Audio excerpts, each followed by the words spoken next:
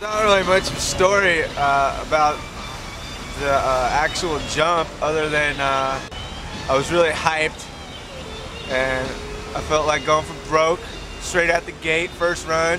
Just jump, jump out of the balcony, why not? You know? Uh, Jake and Mickey and some other people were talking about it, how uh, it looked doable. And I was just a young, drunk kid super hyped at the contest and I just did it.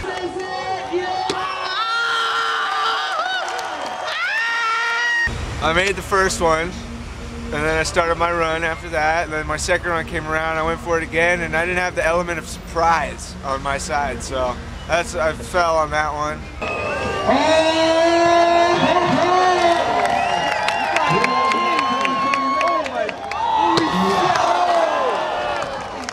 Ate it pretty hard. I was wearing a spike bracelet, and uh, I think I stabbed myself pretty good with it. Uh, yeah, so that that's the story behind that. But I think everyone knows the story back at the hotel room that night. It went off, so uh, that's a whole nother story.